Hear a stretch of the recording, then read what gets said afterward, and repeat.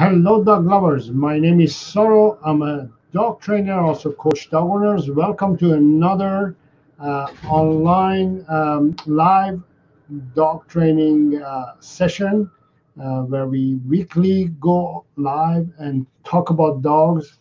I answer your questions and feel free to ask your dog related questions in the chat area. Welcome back. Uh, if you're new here, uh, my name is Saro. Uh, I've been training dogs for over 10 years now, and I focus on uh, training dogs using play and praise reward system rather than old-fashioned traditional treats, food, aversive tools like shock collars, prong collars, choke chain collars, or domination or being alpha. So instead, we use a form of uh, training that uses play and praise to reward the dog. I explain it all in my channel, my website, and on the online course that I offer. Um, today, I wanted to talk to you before we get started on answering your dog related questions. I wanted to talk to you about understanding the difference between a trained dog and a dog who's not being trained. In most cases, uh, it, the dogs who are not trained are visible. What that means is, uh, for instance, me when I go to a dog park and I'm walking dogs, and um, and and um, you know there are dogs out there and running around and dog walk people are walking their dogs um, i see the dogs and i can literally say uh, whether this dog is trained or not. It's very visible to the dog uh, from a, a point uh, from a point of view of uh, somebody who's observing the the behavior of a dog. If you are one of those dog owners who is into dog behavior and analyzing dogs behavior and things like that you could also kind of tell if a dog is trained or not trained. uh, an untrained dog is for, exa- for example is panting even if it's in the walks in the walk at the park uh, it probably is not relaxed is very tense. You can tell the bo- by body language that a, a non-trained dog is very uh, anxious, very tense, is probably barking. Most untrained dogs are barkers. They always get into trouble. You know, they either are lunging on people or jumping on people or dogs, and do- the dog owner is always calling their name, uh, trying to stop them these dogs, you know, the reason they're behaving that way, and because obviously they're not trained, but the fact is that a trained dog won't behave uh, unruly. It won't behave badly. An untrained dog would be uh, a dog who is so confused, so misunderstood, so uh,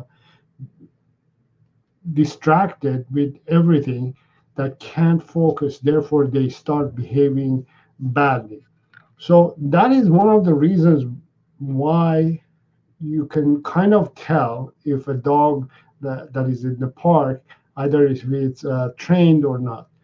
Now it, has also it takes a mental toll on the dog as well. So let's um, first i'm talking about the dog and then we'll talk about the dog owner. It takes lots of mental stress in the dog in the dog and also the dog owner. So the dog is always in that stress mode is always in that anxious mode mentally therefore they can't relax therefore they can't enjoy everything that you're offering the dog whether if it's a simple walk or a complex uh, situation a dog won't be physically and mentally able to appreciate what you offer when a dog is not trained. Now, a dog owner could be also uh, on the same boat, uh, feeling the same way anxious, stressed, um, distracted. Um, you can also tell from the body language of the dog owner that whether that dog owner is confident or not. And a confident dog owner walks very confidently, and the dog, if if it has a dog, that dog also walks very confidently. Whereas uh, a dog who's not being trained, a dog owner who hasn't taken the time to train their dog, you can tell that the way they walk is very uh, they they're always looking for their dog. They're not relaxed. They're always watching around.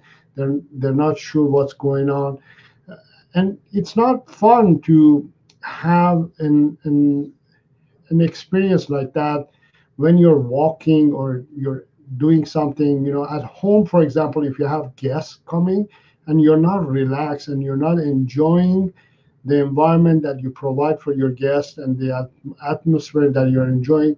Obviously, your dog is the cause that you're not enjoying, and also you're not in, allowing your dog to enjoy that environment that you're providing. So you're constantly you're either calling or yelling at your dog, and you have this negative relationship and um, act, act, activity with your dog. It's not always negative, you know.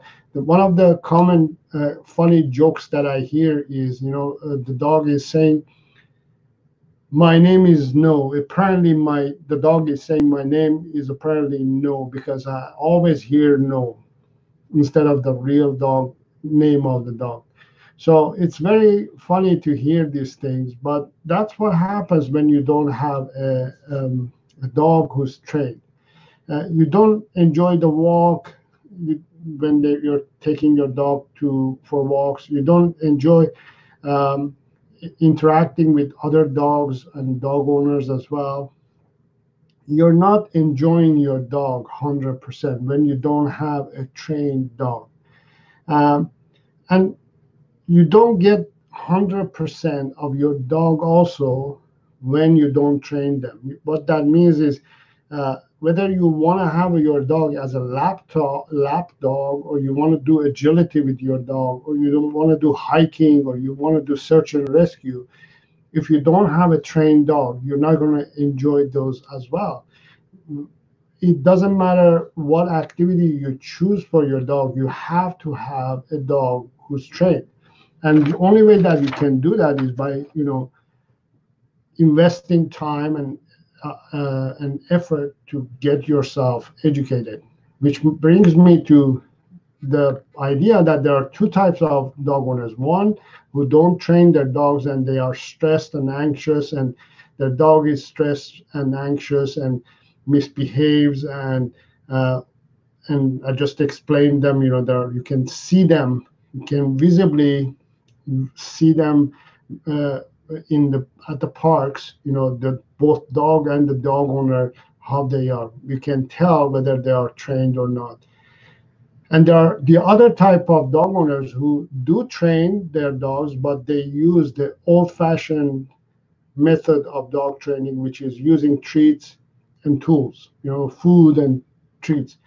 What it does when when these people use treats or food to train their dog, they start becoming dependent on food and treats in order to do anything with their dog. To even ask their dog to do something simple, it becomes a big uh, problem for them. Simple tasks of a dog becomes a major major issue, and they cannot perform it and the dog cannot perform it without involving treats or food in the training or bringing it out right? So you become your dog becomes a dependent on treats and you become dependent on treats as well. So you, your dog becomes in a way a drug abuser and you become a drug dealer. That's the problem when we depend on treats or food to train our dogs. We become so dependent that not only we can't do anything with our dogs without having food or treats to perform something, but also we don't do it properly. And we become so stressed that we give up on training our dogs. So, my fellow dog lovers, I have good news for you. those days are over. You don't have to struggle anymore. You don't have to suffer anymore because I am here. Enter Saro Dog Training. I have several solutions for you. I have one form of uh, offering you knowledge and information for you to become an edu educated dog lover, which is my YouTube channel. Now, if you want to go further than that, you can join my online dog training course. Let me see if I can bring that into view so you can see it. You can join my online course and become an educated dog lover.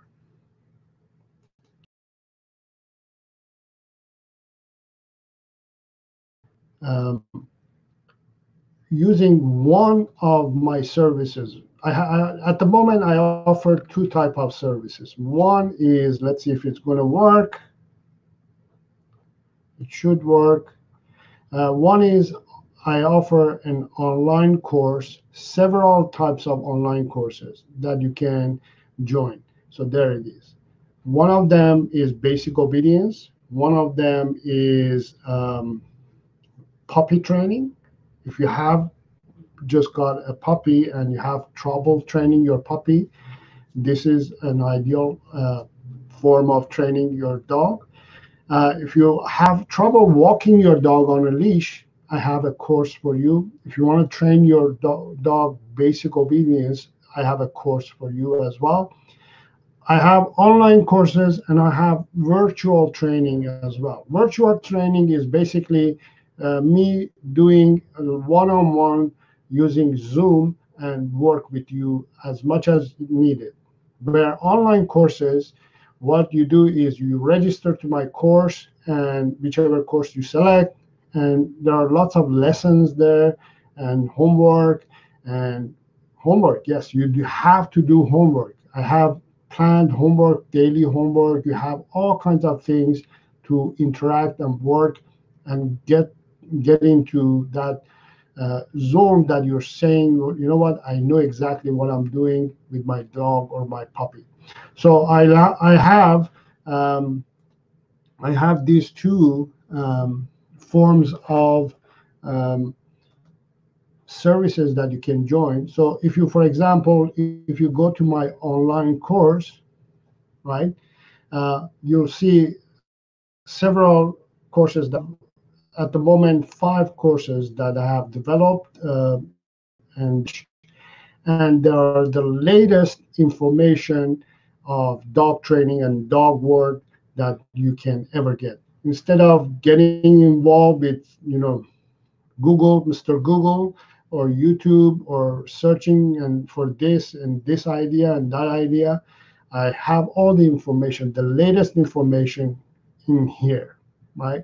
And it's updated all the time. Whenever there's new information, it gets updated. So I have puppy training courses, course. I have a, a course that it tells you exactly what you're supposed to provide for your dog on daily basis. It's called a dog's five daily essential needs, leash walking, leash training course.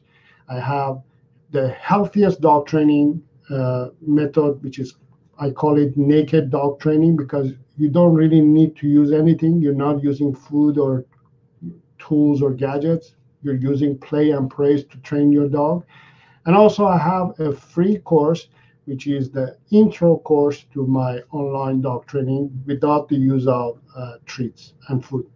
So, you're welcome to join any of my courses and become an educated dog lover that knows exactly what supposed to do and how supposed to do and be one of those dog owners who is confident to walk their dog to do anything with their dog enjoy their dog puppy raise the puppy properly raise the puppy to become an edu- a, a well-behaved dog to become a healthy happy well-behaved dog.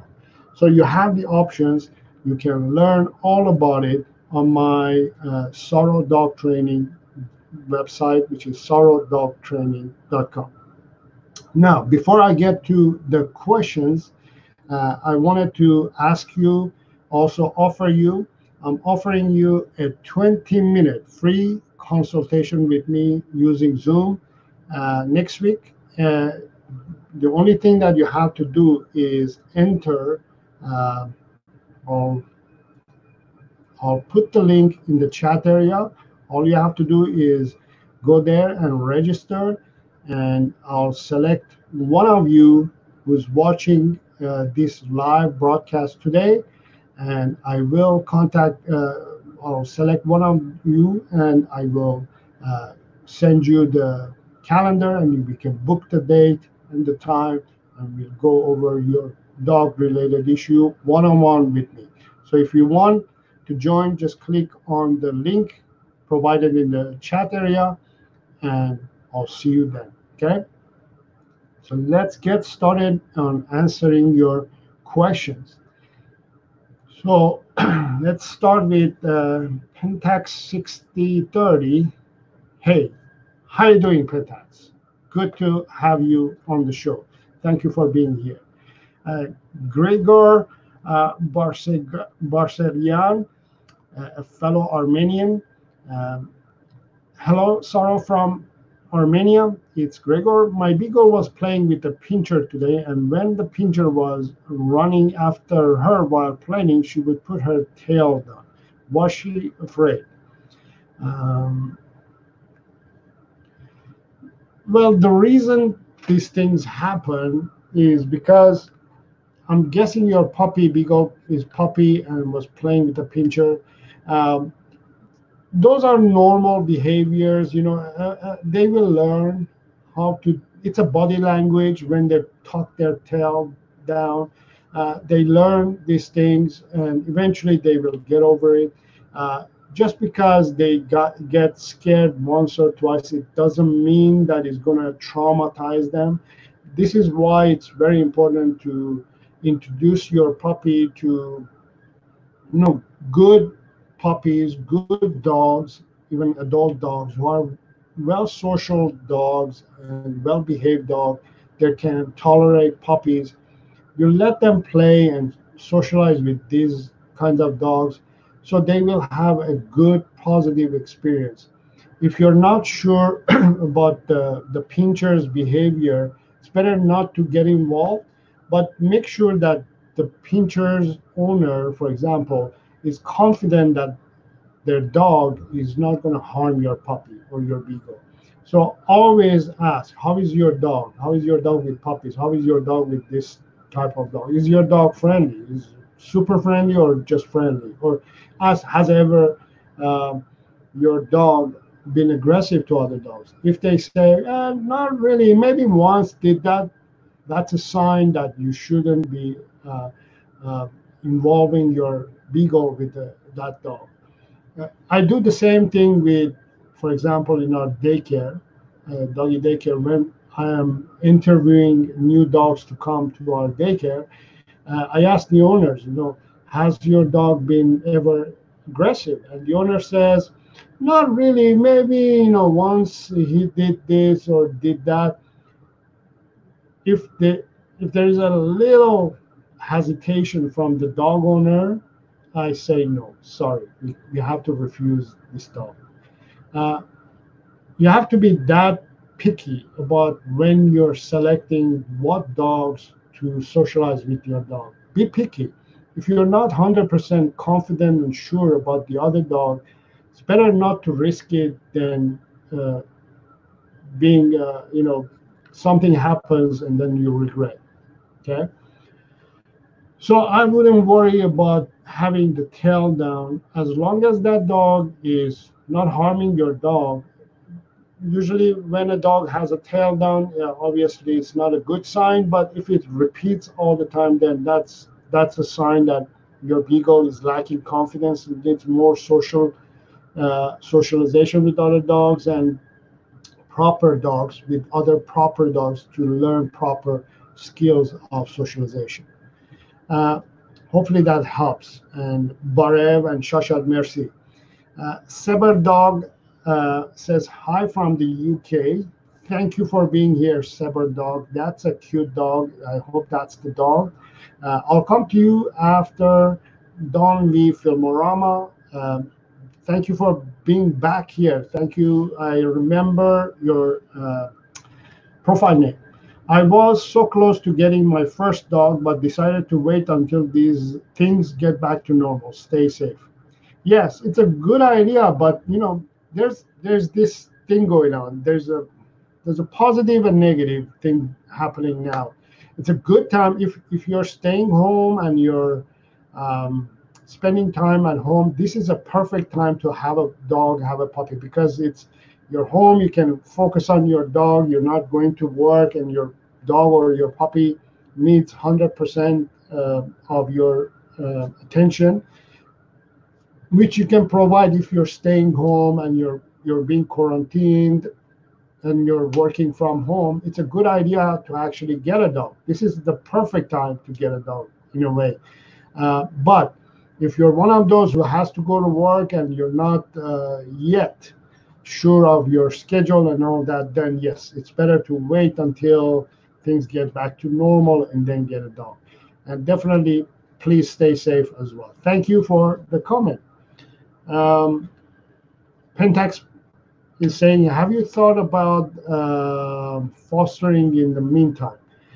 That is a great idea, actually. You know, one of my best tips to any dog owner who wants to get a dog or is thinking of getting a puppy or a dog is go ahead and foster a dog since you're home if you're staying home and you're being quarantined and uh, social distancing yourself it's a good time to go foster a dog and bring it home and live with that dog for a week or two or three and see how things go. Are you are you enjoying having this dog around? Or is it working out for you? Do you feel confident to have a dog? Are you willing to uh, spend time with your dog 24 7 maybe? Or you know spend time in general with your dog?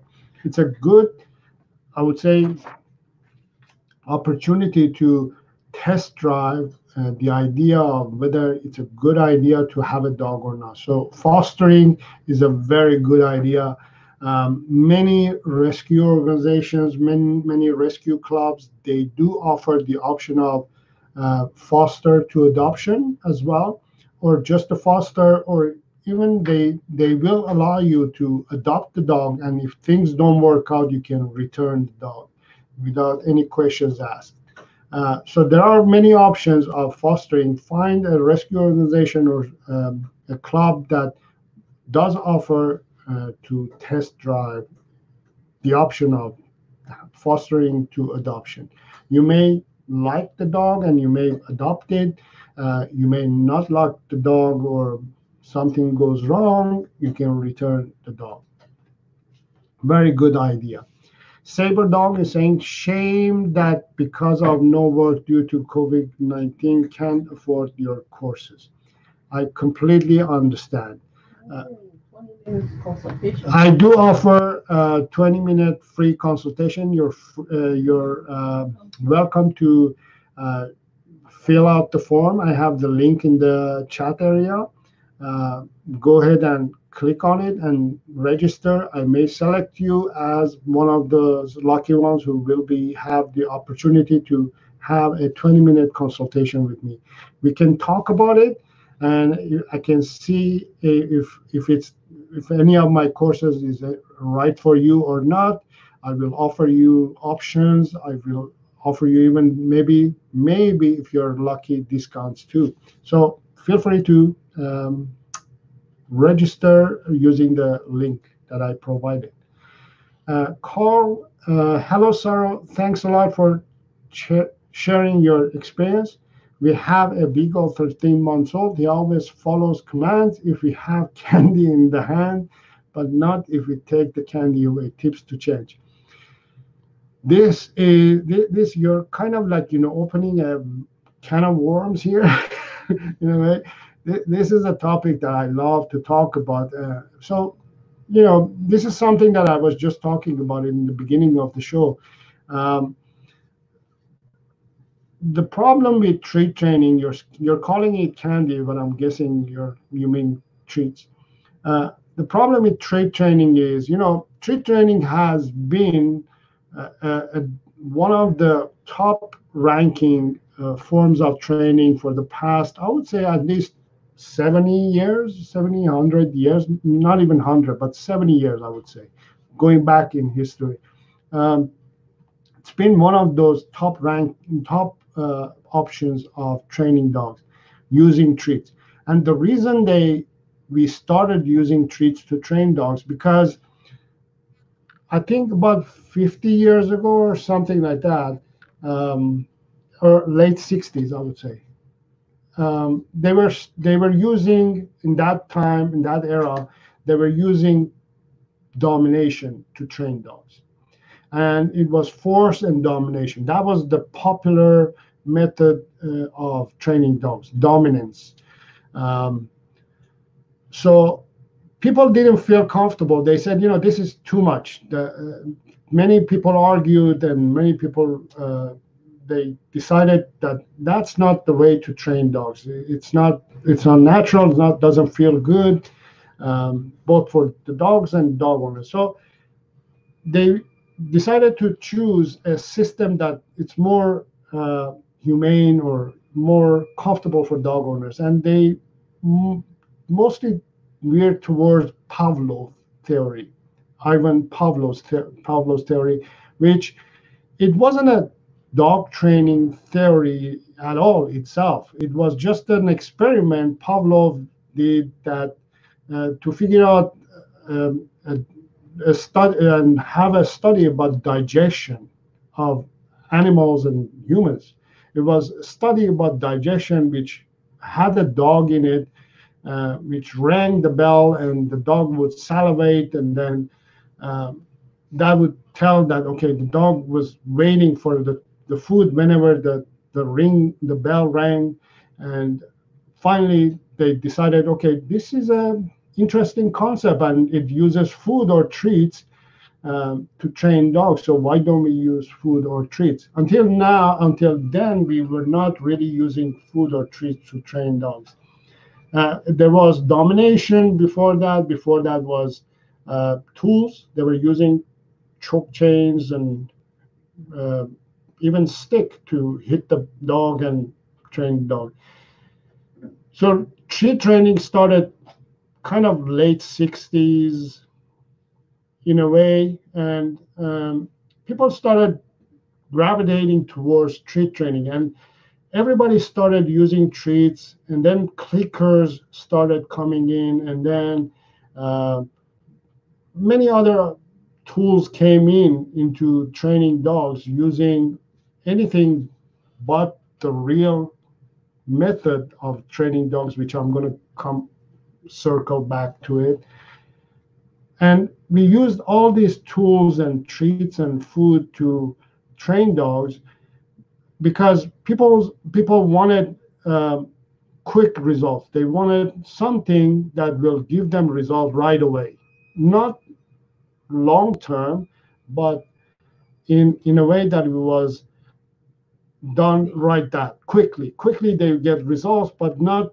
results that it was in the long term.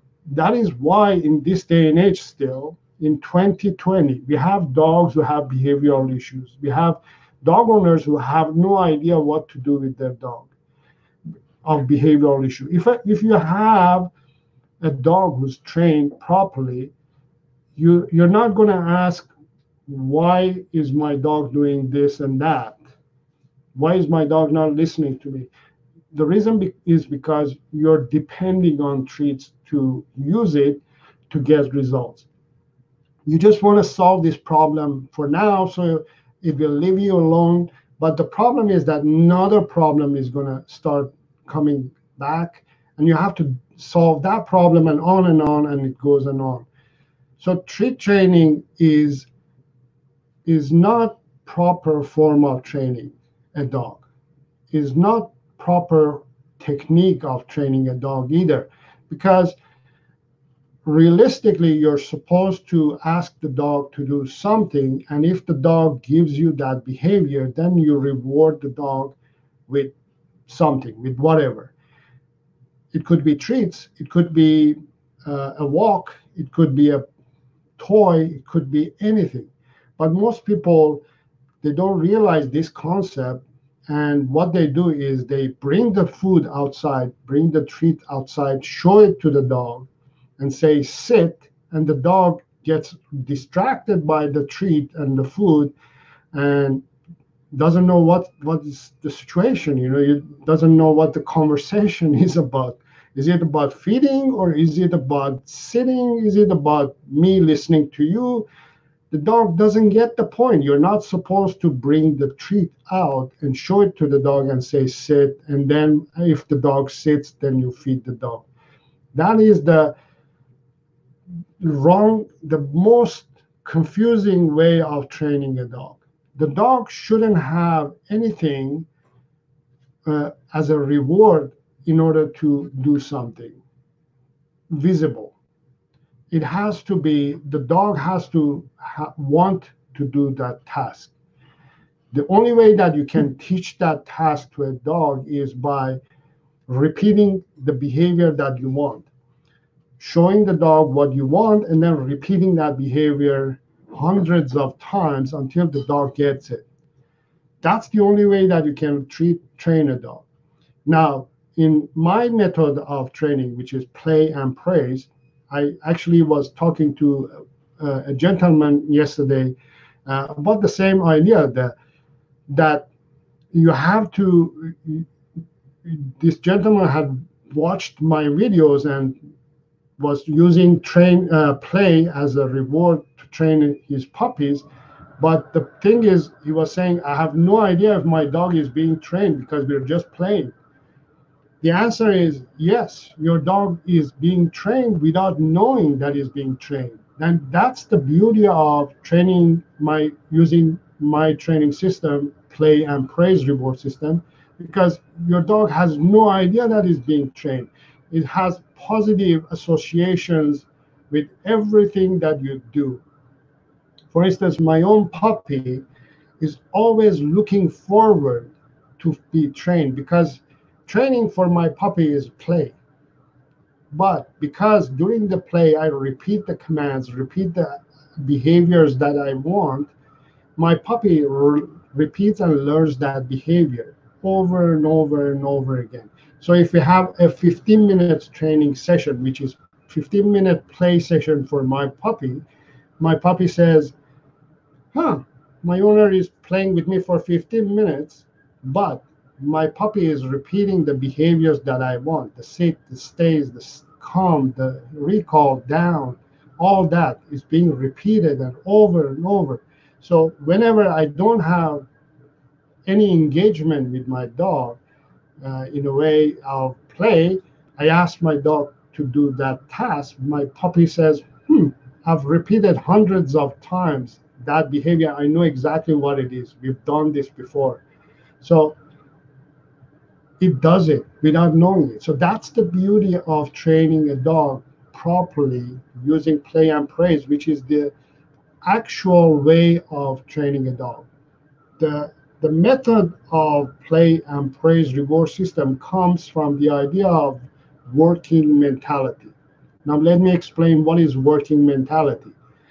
Dogs all the breeds, your Chihuahua, your Bichon Frise, your German Shepherd, your uh, Pit Bull is all working breed.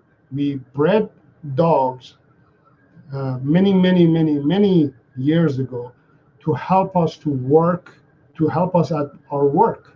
We needed a second hand. We needed a dog who could pull, a dog who could protect us, a dog who could dig a hole, a dog who could get rid of the vermins and mouse and this and that. Uh, we needed a dog who could stand on our lap and give us comfort. These are all working dogs. With whatever breed of dog you have, you have a working breed of dog. So, working dog was designed by humans for humans to do certain tasks. And those days, 200 years ago, 500 years ago, people didn't use food to train the dog to do the task. The dog did it automatically, naturally.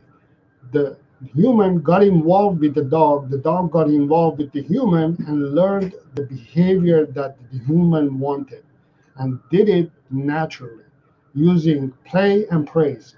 What I mean by play and praise, the farmer said to the collie, had a collie, border collie, and said, Go and let me see what you can do. And the collie went and gathered the herd, the, the sheep, and brought it back naturally. The, the farmer didn't even have to train this, didn't have to teach this. And the dog brought uh, all the sheep to the place that it's supposed to be, went home, slept with the by at, at the owner's home inside the home, farmer's home, ate the same food, lived with the same human, and repeat and repeat. That's how dogs were trained. The dog would do anything for this human, not because they're being fed or not because they're, they're getting shelter, because the dog was doing its task, its work. So when the dog does its work, the dog is 100% committed to you as long as you provide that work for that dog, as long as you interact with that dog, as long as you spend time with your dog. Now, fortunately or unfortunately, these days we have a lot of time to spend with our dogs. And I can tell you honestly that I feel that your dog is more connected to you than you have been spending at home. Tell me yes or no. But those days that you used to go to work for eight, nine hours a day, 10 hours a day, and you come home and you spend few hours with few minutes with your dog, of course you're not going to get results your dog is not going to be eh, paying attention to you. It's not going to be interacting with you. Therefore, you're not going to get results. You're not going to have a dog who's well behaved. You have to spend time with your dog. You have to invest time and effort to train your dog. And you can only do that by not depending on things, but spending time. And that is the biggest secret that you learn in this channel. Spend your time with your dog, play and praise your dog. You'll see great results. So, that's how you can get rid of treats. If you are dependent on treats, remove the treats or food out of your mindset and start working with your dog from the heart. Connect with your dog literally from mind and heart and soul, not depending on what you have with you to offer your dog because you are desperate offer yourself, offer you 100% of you, the same way that you offer yourself to your partner. You give your love to your partner, and your partner gives back to you 100%. That's how you share and offer your dog you and say, I'm available for you 100%. And you'll see that your dog is going to give you 100% back. Not even 100%, 200% back. So that is my, I, I told you that I, that opens a can of worms if you ask me a question like that. But it's a great topic and I love to talk about it. I hope that answered your question. Um,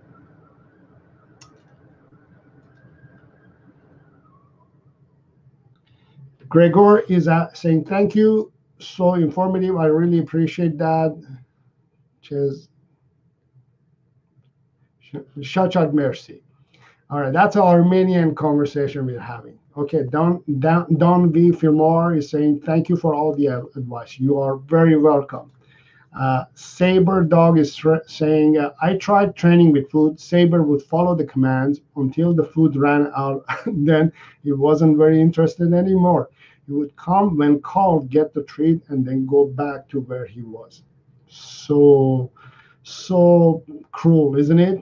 Ah, so that's what happens, you know, when you depend on food and you start working with a dog with food, that's what you're going to get. You get that kind of results. You get a cold relationship.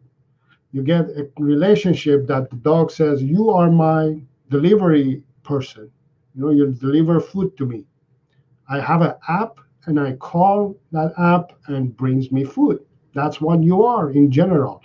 Uh, and it's so, you know, cruel to hear comments like this because I know how much you love your dog and how much you want your dog to respect you and love you and give you back. The only problem is that you have started the wrong on the wrong foot. You have started involved getting involved with your dog from the beginning with the wrong mindset. I, I keep telling you guys this that you can't most dog owners they can't do anything without treats. I go to dog parks and it drives me crazy because my puppy is a beagle puppy and you know beagles are have they have a very strong nose. Uh, they, they scent their scent power is so extremely uh, strong that they can scent everything uh, miles away. So if i go to a dog park my beagle goes and lands on every dog owner, and every dog owner is carrying treats with them.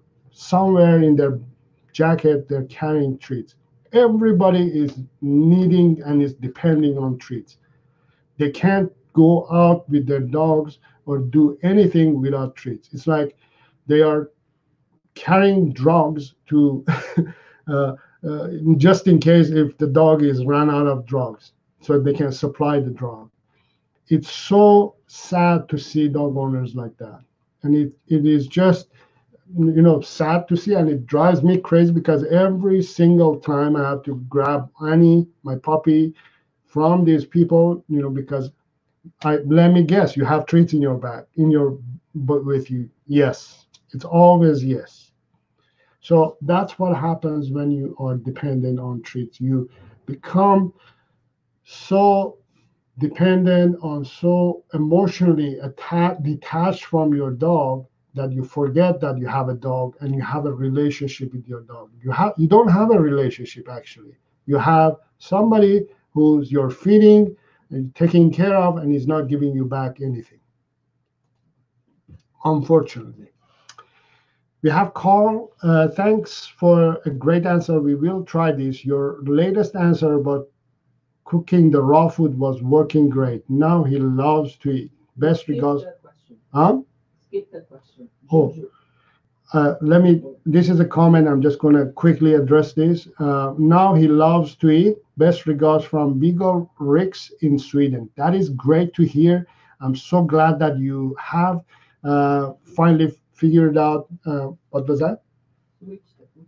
uh, finally figured out and switched the food and you're feeding a great natural good food to your beagle.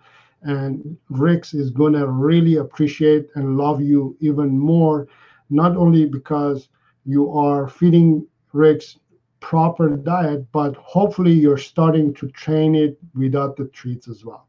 And thank you for the feedback. Uh, we have Juju.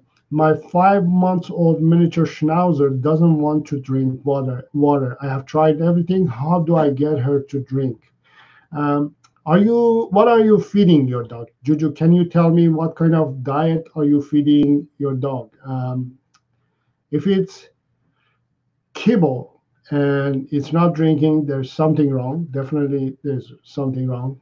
But if you're feeding uh, wet food or raw diet, it is very natural and normal for these kind of dogs not to drink water. Like if my beagle, who's on raw diet, my older beagle Harvey, who's on raw diet,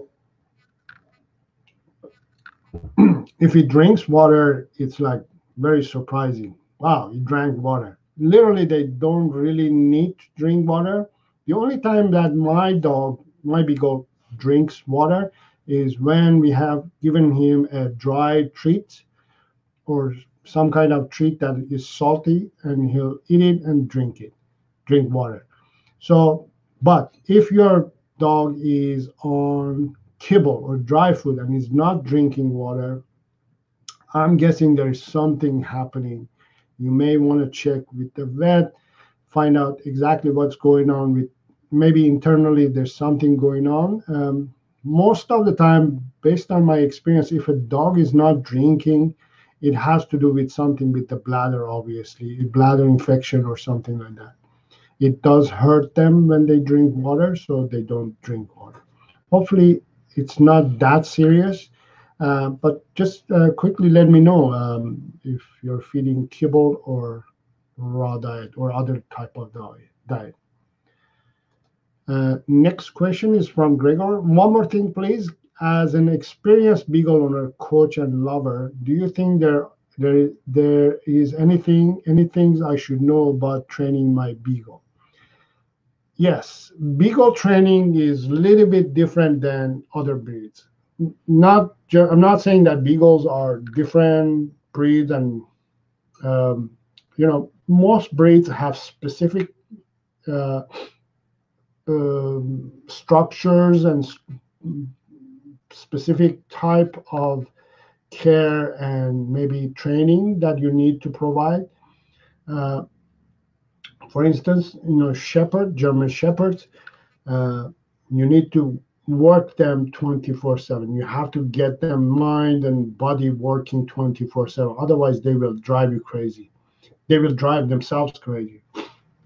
Beagles, on the other hand, we call beagles uh, five legged dogs because their nose is always on the ground.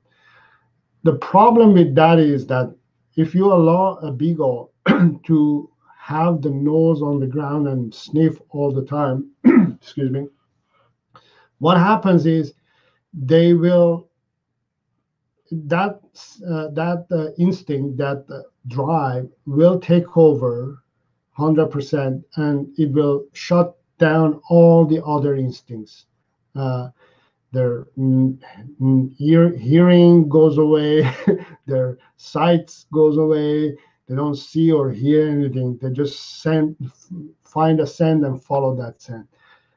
Now you can use training to kind of you can't turn off the instinct. If the, the drive that a beagle has you can't turn it off.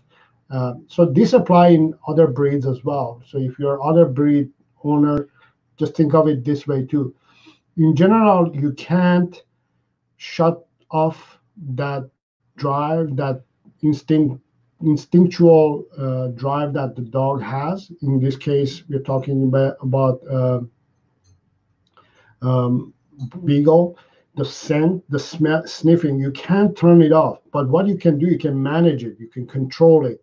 The way you control that is by training.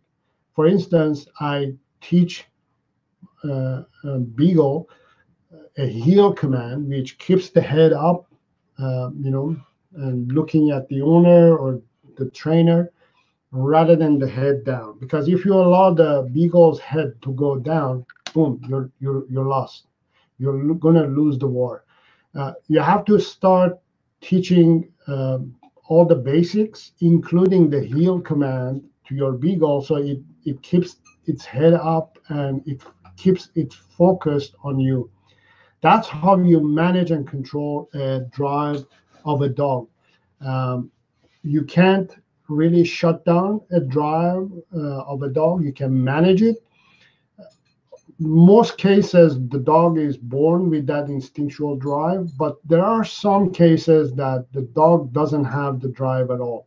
So, for instance, uh, my first beagle, Jonah, uh, that one. Let me see if I can. There we go. Beagle Jonah.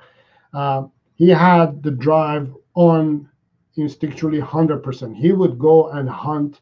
He would go and disappear in the woods for five, ten minutes and then would come back. I knew he would always come back because he would go, he was doing his task, he was doing exactly what he was bred for to find something that he was, his, his nose was giving the signal to go for it bark. He would go and bark, whoa, whoa, whoa, as he, and he, as he would disappear, the bark would disappear to whoa, whoa, whoa, whoa, whoa, and then would disappear for a while, and then whoa, whoa, whoa, whoa, would come back. Uh, so after five minutes or so, he would come back. I knew that he would come back, so I wasn't worried about it. I was controlling him. I was training him to have him not to do that often. So I started training him in a way that he would not do that anymore. He wouldn't go anymore. He wouldn't disappear anymore. He would come back all the time. He would stay with me. Now with Harvey, this one that you can see, Harvey doesn't have the drive. His drive of uh, hunting, it's maybe 10, maybe even five. It's not there. So with him, I didn't have any issue of or difficulty having him not to take off.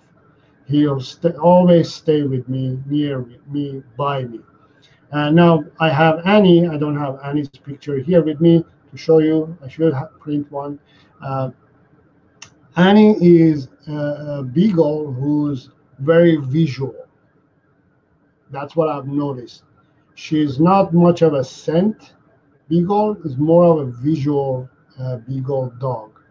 And that comes from one of the breeds that he's been mixed with.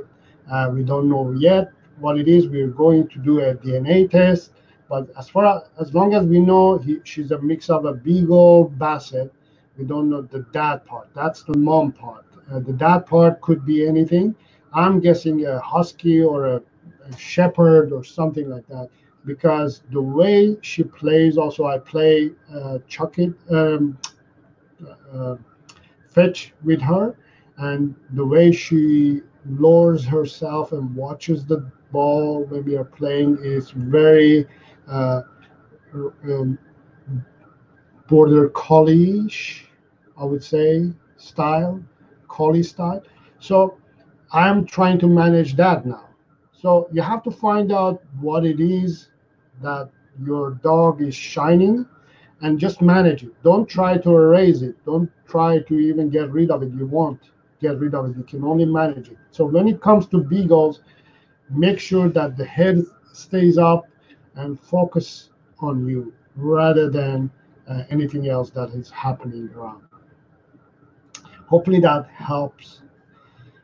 Canal, I'm guessing, canal my dog has started to have panic attacks after he got sick and runs into the house sniffing and howling. I've taken medicine from the vet. Would you suggest anything else I can do? Thanks.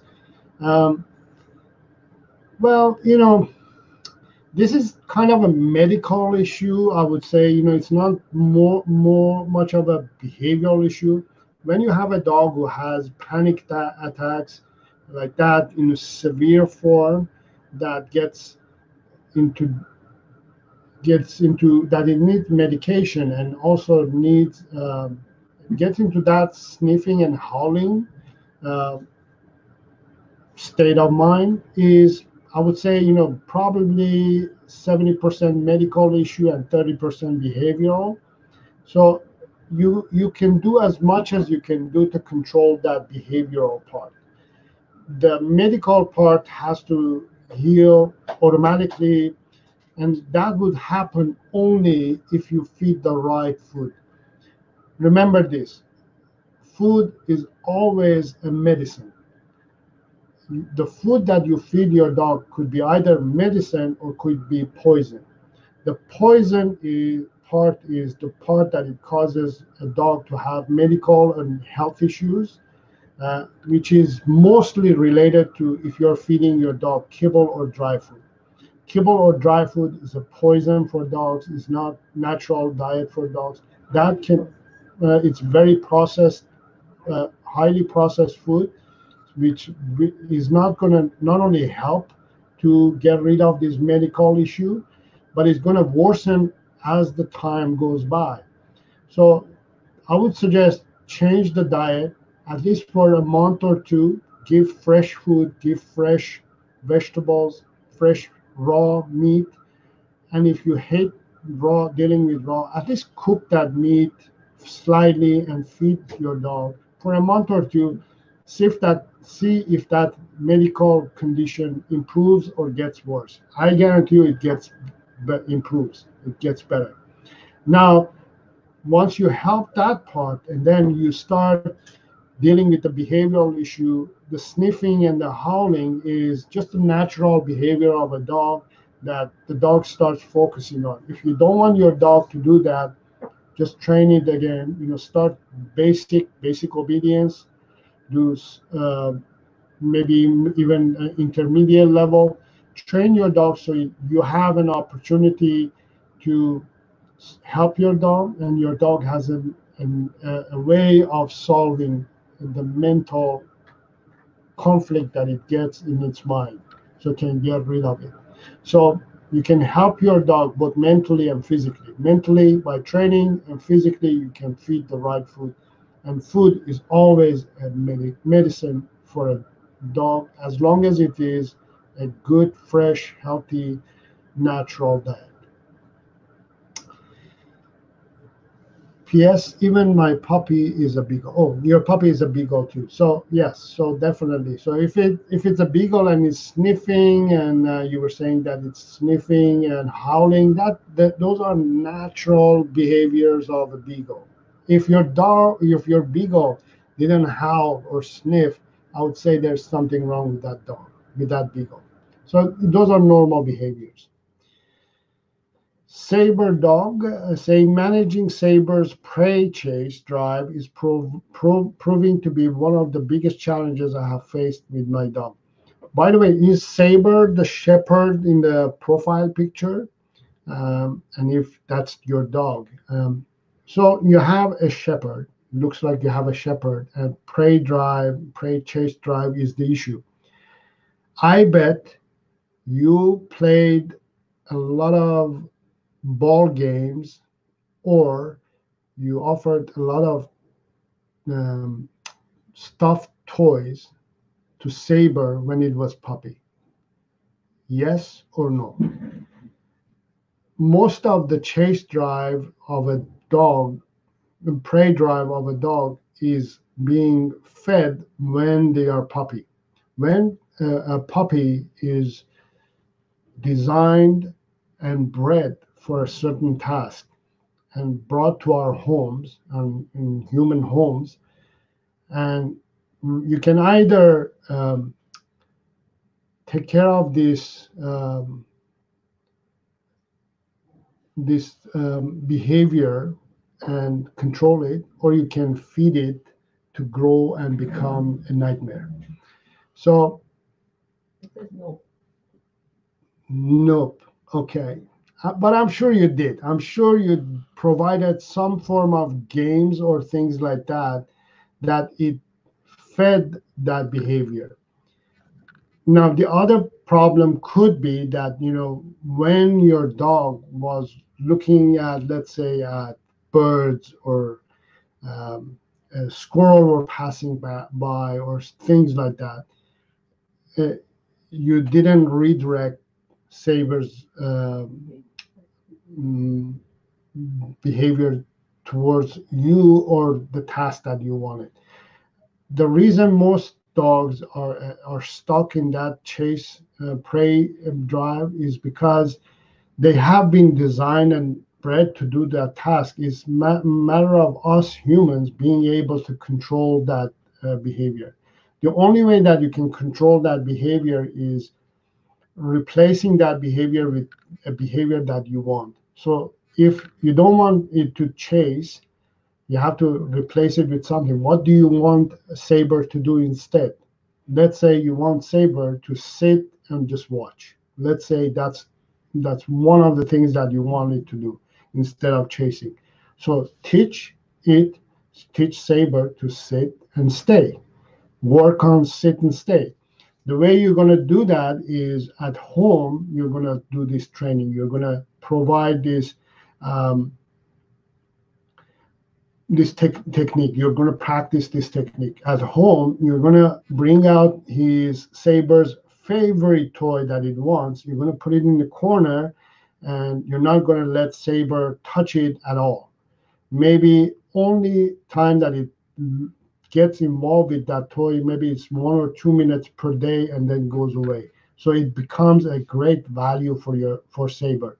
And what you do is every day you practice on controlling and managing Saber, not to look at that toy or getting get fixated on that toy at home. Practice sit and stay. Practice um, a lot of controlled uh, training, right? Um, to the point that you can manage Saber indoors rather than taking it outdoors. Now, if um, if Saber is hard to control outdoors, for the next month or two, I would suggest don't take Saber to that environment that gets him going. I'm guessing it's a him. Um, don't take him to that park or that area that helps him to get into that zone of chasing. Maybe for a month or two, practice everything at home 80% at home, 20% outdoors. Don't worry about not taking him out.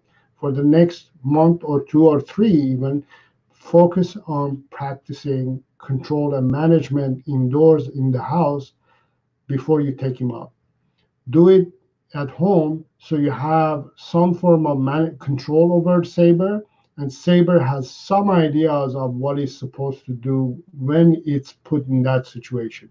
So the first week or two or even three weeks, don't have any expectations. Don't have any expectation of Saber listening to you because you're still practicing it at home. I hope those uh, guide those um, solutions will help. So work on it. Maybe it will work. Um, Grigor is saying amazing. Thank you so much. You're welcome. Uh, yes, he's cross GSD Siberian Husky. Oh, yes. Okay, I can see both of the now. Yes. Um, mainly Tog. I bet he's very energetic. I, am sure too. Yes. Um, energy of three dogs. yes. Um, we have a few more minutes. I'm going to explain about that too. Uh, let me just see what's going on here. Yeah, GS designer can nominate the word too. He tries. He is uh, intact. Receive your email regarding my mini poodle, Timmy. Uh, thank you very much. I will do everything you told me. Oh, okay. Great, great. Elizabeth, thank you. Nice to see you here. Nice to being here. Thank you for being here. I'm great that you got my message. Mm, I'm sorry? Nice to have you. Yeah, nice to have you here. Yes. Saber Dogs is th- saying thanks a lot for your advice. You are very welcome. So you were saying that uh, husky energy is very high. You know, um, they are high energy dogs in general, but also you want to control that energy. You want to control that um, high energy uh, mentality. You want to teach saber calmness rather than excitement. Now i bet you take him for a long hikes and walks a lot of activity a lot of exercise. The other tip that i have is for the next two weeks don't take Saber out more than half an hour a day. I know the first few days would be hard. Saber is going to annoy you, but the fourth day, you're going to see a different Saber. Energy level is going to drop. Try to uh, give less exercise. I'm not saying that, you know, forever. For now, reduce the exercise level as well. Um, maximum half an hour a day I know it's crazy, but it works. Um, we have San, Sanjeev is saying, hello, how do you do, Saro? Very well. I'm doing very well. Uh, I'm staying safe and cautious in this day and age. As you can see, the world is going crazy. Hopefully, you are also safe and healthy. Be safe, be healthy, stay healthy, um, stay indoors. Um, I hope you enjoyed this live show today. I had a ton of fun uh, interacting with you and talking about dogs and answering your questions. Um, feel free to uh, visit my website, um, sarodogtraining.com, and check out my uh, online courses and what I offer these days. Uh, I offer two types of uh, services at the moment. One is virtual training, one is online course. If you need help, I can offer you any of helps uh, help kind of help that you need using any of those. And feel free also to uh, join me uh, using the link that I provided to uh, win a free 20 minute consultation with me sometime next week. Or I will pick one of you who joined me today in the live session uh, and entered. Uh, pick one of you and I will contact you as well. Thank you very much. Thank you for being here. Uh, if you have any questions, any further questions, leave those questions in the comments area. Make sure to give it a thumbs up uh, if you like this video, if you enjoyed this live session. Uh, make sure to subscribe uh, to the channel as well. And until next week, have fun with your dog.